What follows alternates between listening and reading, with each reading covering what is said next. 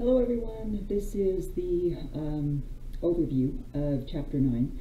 And Chapter 9 is uh, a chapter that uh, is focused on how we interact with one another socially.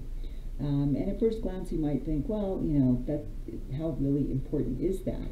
Um, but the reality is that how we interact with others, whether um, it's at school or it's at work or um, perhaps uh, at a religious um, uh, congregation of some sort, whether that's a temple or synagogue, a mosque, a church, etc., um, how we interact um, when we're with friends, etc., all of that um, does shape how we think and how we feel about the world around us. And so, um, in this chapter, there's a there's a focus on how these associational uh, relationships are developed and how they are influenced uh, continue to be influenced by what has happened in, in the past. So, um, first off, you know, we should recognize that for most of the world's history, um, people were segregated uh, into their own little communities, uh, and so it what it's not that it's so unusual for humans today to continue to, to segregate themselves into different communities and churches and um, civic organizations, etc. Um, that, that shouldn't be a surprise. That's what humans have been doing um, our whole existence on this planet. Um, of course, starting in the 19th and 20th centuries, uh, well, starting more in the 19th century, early 1800s, um, and the 20th century, the push became stronger for there to be more uh, inclusion um, of people from different walks of life in the various associations or organizations in the United States. And certainly um, after slavery was abolished uh, by the 13th Amendment, African Americans really began to um, be able to achieve some degree of success. And um, I, one thing that um, comes to mind is uh, some of the ways in which members of the African American community or the black community, as we typically say today, after slavery was abolished, whether these individuals were uh, former slaves or whether their children um, became um, professionals, people went to school, they earned degrees. Of course, they had to go to historically what were then just black colleges and universities. Today we call them HBCUs, historically black colleges and universities. Um, and they became doctors and lawyers and architects and engineers, etc.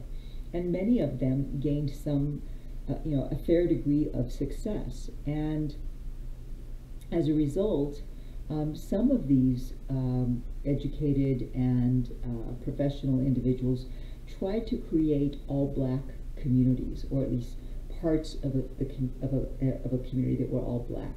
And um, I'm listening to a podcast right now um, on Wondery uh, about uh, the Tulsa massacres and what happened um, near in Tulsa, near Tulsa, in an area that was once known as uh, as Greenwood. Um, and this was an area of Tulsa that was it was called the Black Wall Street because people who lived there were um, blacks who had achieved some degree of success. Many of them were professionals. Uh, others were entrepreneurs. They owned uh, stores and uh, movie theaters, etc. Um, but it was destroyed um, in 1921. Um, and those individuals never fully uh, were able to recover financially, um, let alone um, physically and mentally, from the trauma of what happened over the course of about a day and a half um, in um, late May uh, 1921. So um, again, thinking about how people just almost naturally, you know, that old saying, birds of a feather flock together. People almost naturally um, want to be around people who are like themselves. Having said that, what we do know is that there is much to be gained by having more inclusion and diversity within our organizations. And I say inclusion and diversity because there's a recognition today that didn't exist um, up until probably 2010 or so, we were we for a long time we were only talking about diversity, right? We need more diversity uh, on college campuses. We need more diversity uh, in the workplace. We need more diversity in civic organizations. We need more diversity in, pol- in political leadership roles, etc. But the reality is that you can have diversity, um, and not a lot changes. What most people recognize today is that unless you also have inclusion, then diversity is fairly useless. Because inclusion is the next step. Yes, you have the people at the workplace or on the campus, etc., who come from various backgrounds. But with inclusion, you then are also making efforts to actually have these individuals um, sit at the table with others who are making decisions, with those who have power. They're sharing in the power, they're sharing in the decision making. Um, their experiences are an important part of what the organization does. That's the inclusion piece. And so now what people uh, are typically saying is DEI, diversity, equity, and inclusion.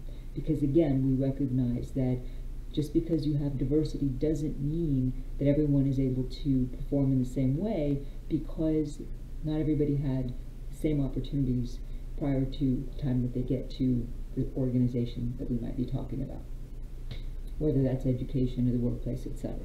So, um, of course, after slavery was abolished, um, then this is my opinion, and you can certainly disagree with this, um, but it seems as though whites were anxious, for lack of a better word, maybe even fearful of the, and definitely envious of the success that black people seem to be having, at least some black people seem to be having.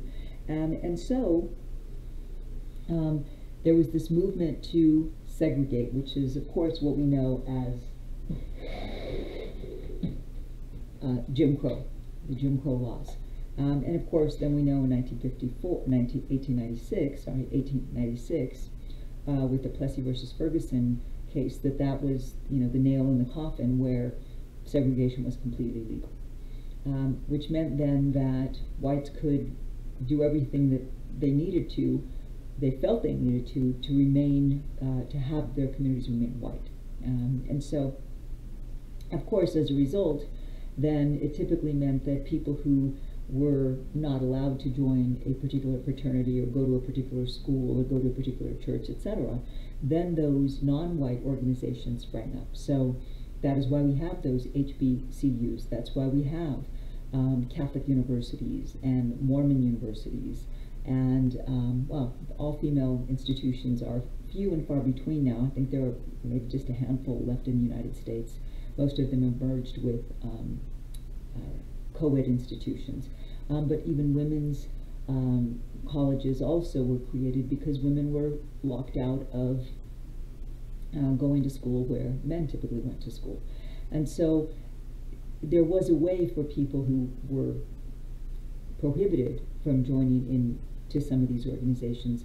Um, many of them just decided, okay, well, we'll do our own thing then. Um, and many of them did it fairly well. Um, of course, there were also some who believed that one key way to make real change was to try to integrate uh, associations and for people to try to work together. Um, and of course, there, here are some listed here um, that early on were very interested in trying to make sure that whites and blacks and other marginalized groups were able to work together. Um, and there's a quick example here of the YWCA. Of course, many religious organizations of the time, um, I'm talking here of the latter part of the 19th century and early part of the 20th century, uh, were segregated. In fact, today most churches are still quite segregated. Um, there's very little diversity in, in, many churches throughout the United States. Um, and so um, in 1920, um, black women pushed the YWCA, Young Women's Christian Association, to integrate. Um, they also pushed the YWCA to dedicate itself to fighting racism, and so the YWCA did transform itself um, to be one of the first um, anti-racist, fully integrated organizations that was whose membership was all female. Um, and so uh, you see their slogan there: eliminating racism, empowering women. Um, of course, we know that there were some whites who believed that um, racial discrimination was abhorrent, uh, and they believed that blacks should have um, the same opportunities that they had, and they were willing to work with organizations um, that were working on, on the goal of racial integration. Um, now, we know too that there were some um, blacks in particular who had the notion, who had the idea that trying to integrate um, black people with white organizations and communities probably wasn't going to, to work that well. Um, and in earlier chapters, you learned about Marcus Garvey. Uh, he was the gentleman that um, was uh, uh, the founder of the movement, the, the Back to Africa movement. Now, you know, we know that there weren't a whole lot of uh, former slaves and descendants of, of slaves um, who went back to Africa. Um, but that's one example of someone who said, hey, look, no matter what we do, no matter how good we are, how smart we are, um, whites will never accept us as fully um, equal to them, and so it's better for us just to go back to Africa. Um, the Nation of Islam came along in the 20th, early, early part of the 20th century, I believe 1920s, 1930s, um, and initially was led by uh, a man named Elijah Muhammad. Um, of course, um, Nation of Islam is not Islam. It is different um, from Islam that is was originating in um, the area that we now call Saudi Arabia, where Mecca is, where people who are Muslim make pilgrimages to. This Nation of Islam is a an American creation by a um, a black man, in particular Elijah Muhammad and others, um, and the focus of, of the Nation of Islam was really to help black people um, develop their, their powers, um, develop fully their skills, to become educated, uh, to support one another, and to um, cleanse themselves of the thoughts of inferiority okay, um, that they may have assimilated. And of course, one of the most famous um, persons who uh, converted to Nation of Islam was Malcolm X. Um, unfortunately, he was uh, assassinated. Um, depending upon what you read and what movies you watch, you, you may believe that Elijah Muhammad had something to do with his assassination or that perhaps somebody in uh, the U.S. government had something to do with it or somebody else. Um, it's not really ever been fully proven. Um, and so really the focus was on we want black people to support each other. We want black people to, to lift each other up. Um, and of course, one of the things uh, that members of Nation of Islam are typically um, identified by is the fact that the men wear suits um, and um, are very clean cut, and the women wear uh, dresses um, that are longer, you know, past the knees, uh, and many of them cover their hair. And so um, they dress very modestly. Um, that's one of the, the, the ways you can identify somebody who might be a Nation of Islam member. Um, you know, unfortunately, for and and you, we could think of a Nation of Islam as being part of Black nationalism, and there that's just one piece. Uh, of course, the Black Panthers were part of Black nationalism. Um, Black Power was another part of Black nationalism during the 1950s and 60s, there were there were various groups that were engaged in um, what we could think of as black nationalism. This idea that black people should stick together, they should raise themselves up and support one another and tap into the power that they have as a group rather than um, as individuals. Um, now, you know, the, the separate black nation never came um, as black nationalism um, pro, you know, proposed that it would. Um, and that lot, a large part of that is because more people believed that racial integration um, should be the, the goal. Um, and the Nation of Islam still does exist. Um, there are various congregations around um, LA in particular. I live up here in Reno. I don't know if there are any up here, um, but they're still around. Um, and there are people who still uh, strongly believe that black people um, are, are, can tap into their power and support one another um, better than trying to get into this uh, realm of racial integration. Um, all right, so let's see. Uh, let's focus on the immigrant experience um, in civic participation. Um, for many immigrants, uh, language is, is a barrier. Um, and not just in terms of civic participation, but also uh, in terms of being able to find a job. Right? If you can't speak English very well, or you don't speak any English, then you may you you are very limited in what kind of job you can get. But in addition to that, even for your children's schooling, you may not be able to advocate fully for your child simply because your your language skills um, are lacking in English, and so you can't advocate as well as you might if somebody were able to speak um, in your native language.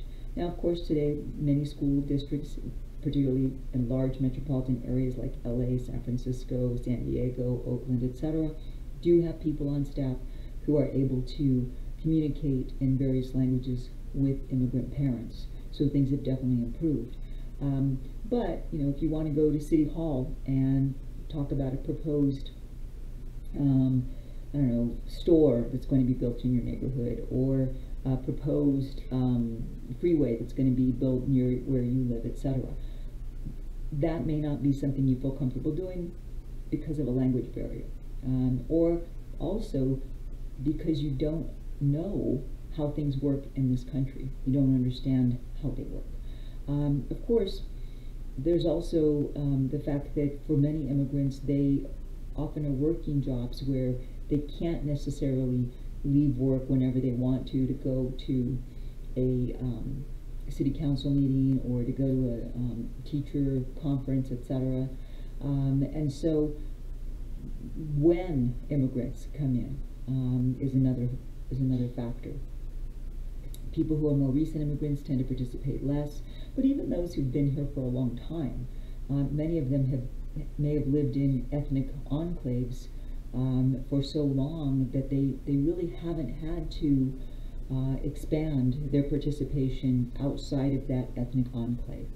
Um, but there may be within those ethnic enclaves um, some voluntary organizations that are uh, that, that, cater to, uh, that are for, and created by people who are, are immigrants. Um, let's think a little bit about homophily.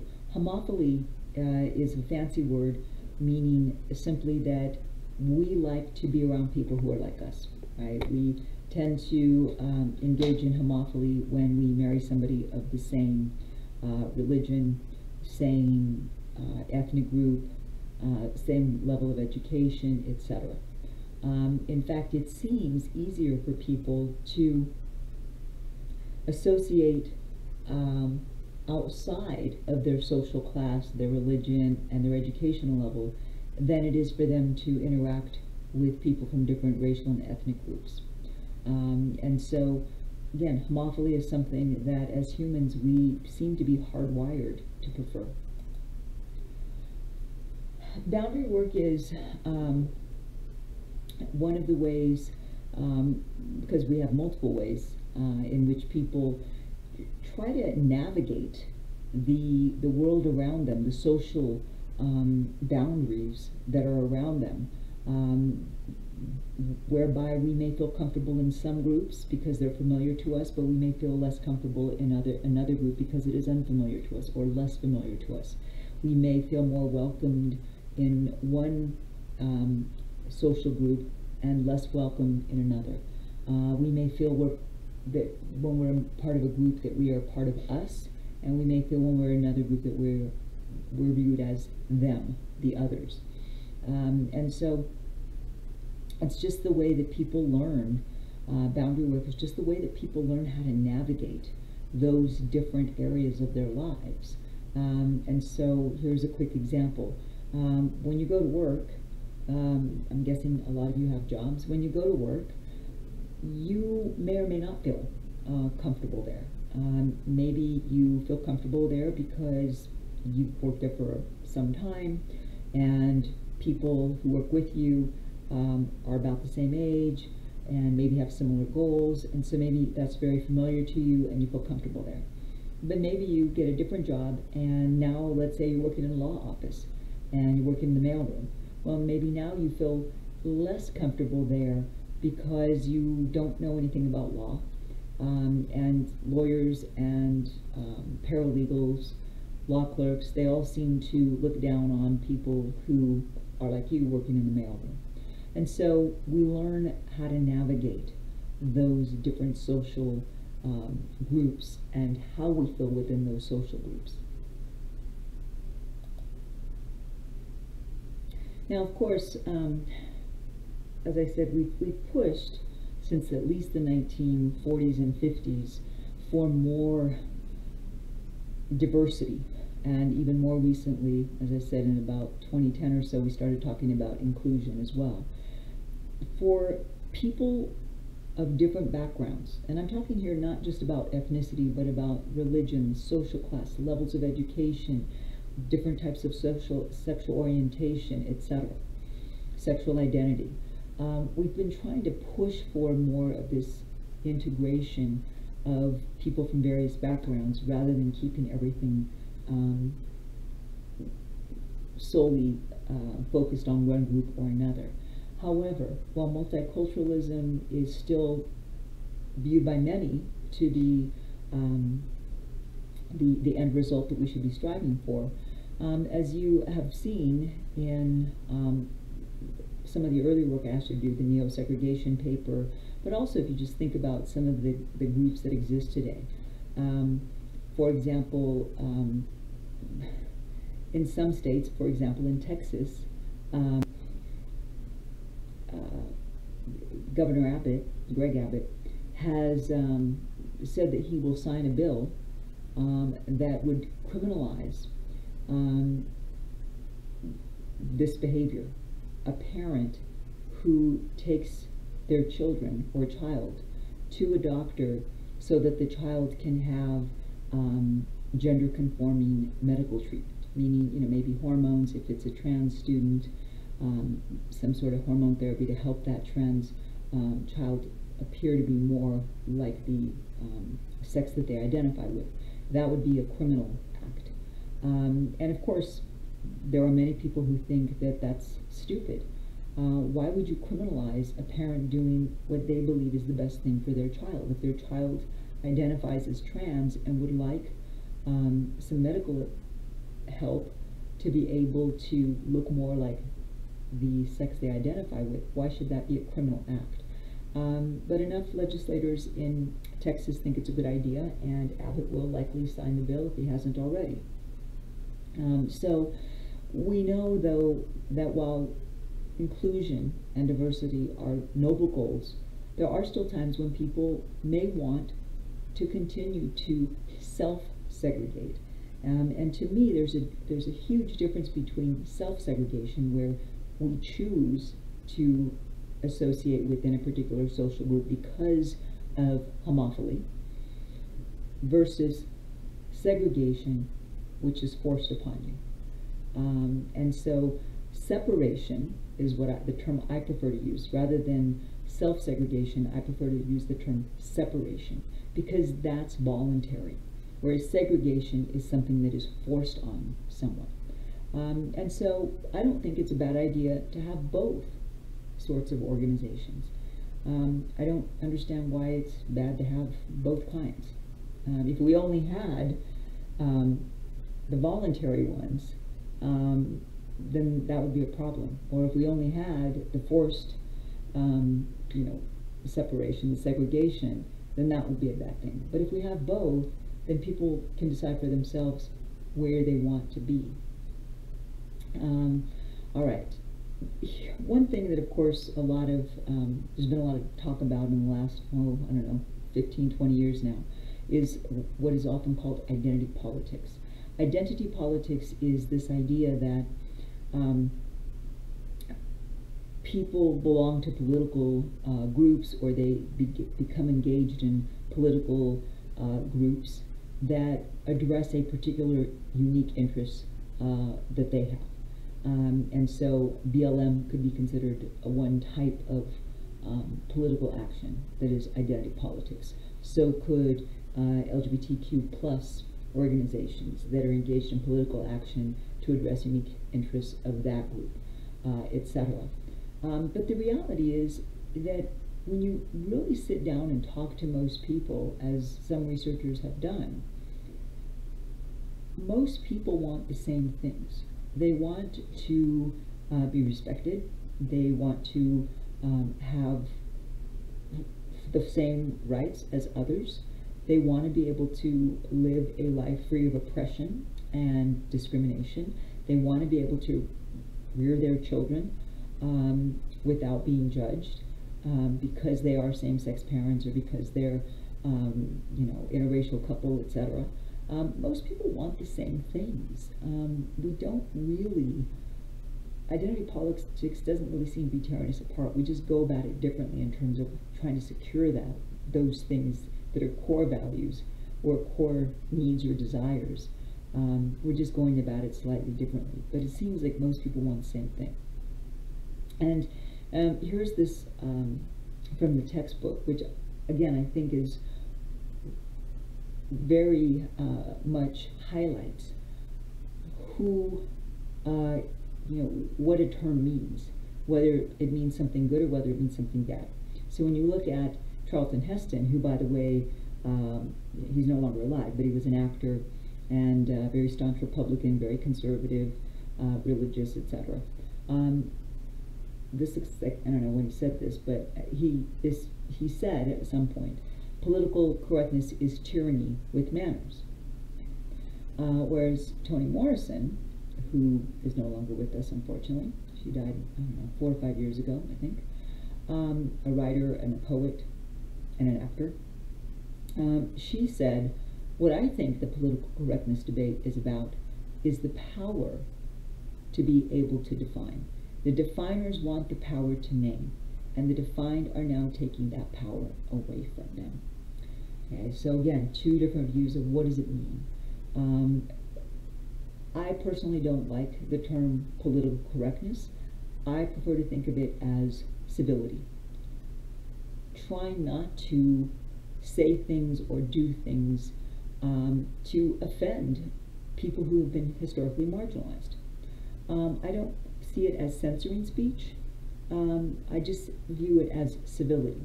So here's here's an example of what I'm talking about. Um, if I, if a coworker asks me, how do you like my new outfit? Or how do you like my new haircut?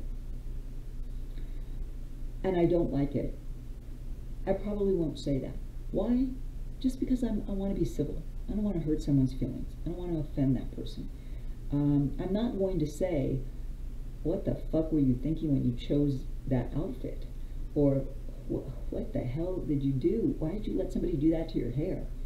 I'm not going to say that. And to me, that's not political correctness. It's simply civility. It's kindness. Just not saying how you really feel. Um, I don't view as dishonesty. I view it as civility, as kindness. Because there's really no reason to hurt someone's feelings just because you have an opinion that's very different from theirs. So that's why I hate the term political correctness, but you will hear it quite a bit. But that's my, my take on how to view it. All right, so um, white nationalism. Um, you might be surprised to see this map because um, California um, is one of three states that have seven or more uh, hate groups uh, in the state. Now, Hard California is known as a very progressive, deeply blue state that's ahead of the game on so many issues in the United States, and yet hate groups have found a way to thrive in deep blue California. Um, now the other two are not much of a surprise. There's West Virginia up there in the other yellow, and um, I, I don't even know what that other yellow one is. I have to admit to my ignorance when it comes to um, when it comes to geography. But what is notable to me is, but and not surprising, by the way, is that Hawaii, that little chain here of islands, this is Hawaii, um, has none. Um, and if you've ever been to Hawaii, um, you can probably figure out why. It's, there's so much diversity there, and people have intermarried over so many generations that um, there, you know, there, there's Filipino heritage uh, in Hawaii, there's Chinese heritage, there's Korean heritage, Japanese heritage, traditional Hawaiian heritage, and yes, and yes, uh, white heritage. There are there's Mexican heritage now there. Um, so there's so much diversity there, and, and these islands are so small that it's difficult um, to really get a stronghold. I think for a hate for a hate group to get a stronghold, and I, I think that's a good thing. Um, other areas where apparently there are none, surprising to me, um, is uh, are New Mexico, Utah. Um, I believe that this is Nebraska. Um, uh, Louisiana is here. Uh, I think this might be Kansas. This might be Oklahoma. Again, I must say that my knowledge of geography is, is pretty bad. Um, but again, I just wanted to point out that, um, that everywhere else, uh, except for these purple places, um, there are hate groups. Okay, so not, not very surprising.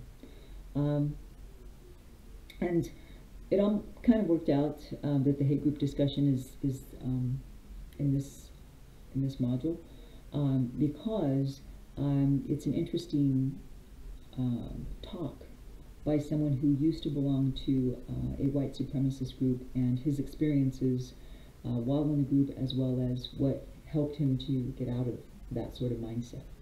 Um, so I hope that you enjoy that that video. Uh, oh, this is something that um, has been in the news quite a bit since um, March 2020. I mean, we knew that the digital divide existed, but of course it was exacerbated um, with the um, pandemic that began in March 2020 and is pretty much still with us today, although I think some people are now calling it endemic rather than pandemic, although it's still pretty much everywhere in the world. So I think still it's a pandemic.